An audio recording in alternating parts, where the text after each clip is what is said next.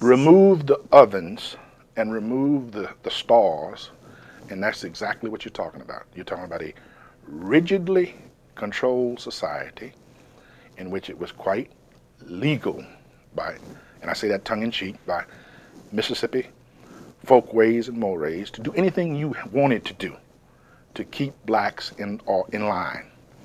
Let me talk about my community, Pass Christian, Mississippi, very Catholic, labor union organizing, people returning at a couple of years, have returned a couple of years now from the army, where they've been exposed to the fight to make democracy safe for the world. Now they want to make democracy safe for themselves.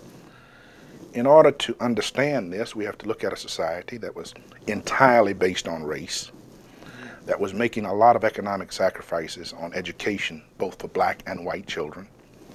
$135 per year was spent for the education of whites. I think the number was $33 for the education of blacks, a totally separate school system.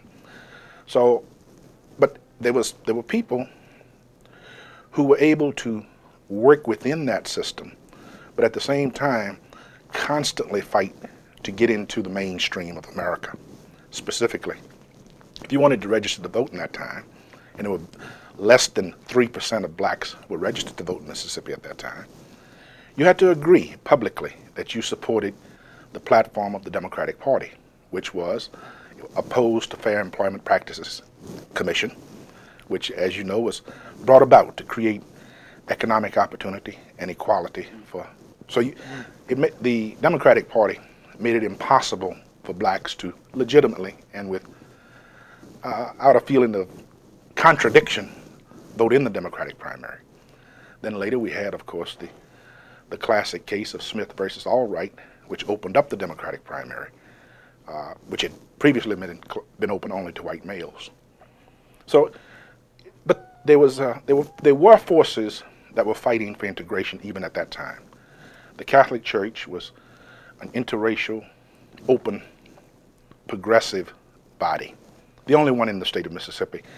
I have historically identified the church with politics, and I find it very, very interesting that there's such a fight to separate it. And, and in, I think in the white community throughout this country, there's a real separation. But uh, there's never been a, a, the same kind of separation in the black community. I think the classic example was the election of John Kennedy because of his call to Coretta King and how the black church organized throughout the country and made the difference. The, without the church, there would have been no civil rights movement. Once you get out of the sphere of the church, you're then into the grim world of reality, which said, okay, there is no, don't assume that there's police protection for you. If you're to be protected, you have to protect yourself. And you have to understand that all juries at this time are, black, are white. Um, in order to be, serve on the jury, you had to be registered to vote. Well, in order to be registered to vote, you had to interpret any of the 285 sections of the Mississippi Constitution to the satisfaction of the registrar, some of whom were totally illiterate. But nevertheless, that was the, the law. And later on, to make sure that even those who could read and write, there was a good moral character law which said that even if you completed, if you interpreted to the satisfaction of the registrar, all of the 285 sections of the Mississippi Constitution, any white person could then question your character.